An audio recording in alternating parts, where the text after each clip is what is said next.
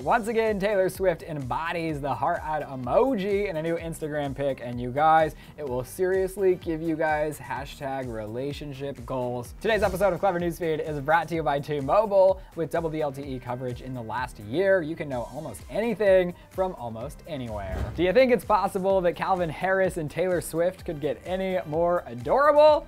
Well, probably not. We all saw Taylor attend Coachella over the weekend to support her boyfriend as he performed at the music festival, but it wasn't until she posted this pic to Instagram that we all basically died just a little bit on the inside. Yep, you're looking at Taylor reaching out for her DJ love among the crowd of people, holding out her arm between a ton of strangers and keeping her gaze fixed. It's clear she only has eyes for Calvin. Taylor captioned the pic, watching Calvin Harris like heart-eyed emoji, hashtag Coachella. And heart-eyed emoji is exactly our reaction after seeing this adorable pic. Taylor also uploaded a video of her boyfriend performing with a surprise guest, Rihanna, writing, I'll never forget this moment, and she even managed to turn the camera around to herself and her friends while dancing the night away.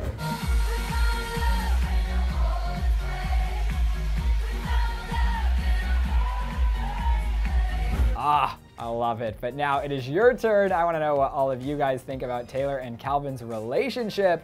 I mean, how adorable is that Instagram picture? Let me hear it in the comment section below. And then you can click right over here to check out Rihanna taking the stage with Calvin Harris at Coachella, what we were already talking about. Be sure to subscribe. Thanks for hanging here with me. I'm Ryland Adams at Ryland Adams on Instagram. I will see you next time. For more Clevver videos, click to the left to watch us unbox Kylie's new lip glosses over on Beauty Break, or click to the right to check out Selena Gomez's best music video, Determined on Debatable. Thanks again to T-Mobile for sponsoring this episode. Track what's trending wherever you go with double the LTE coverage.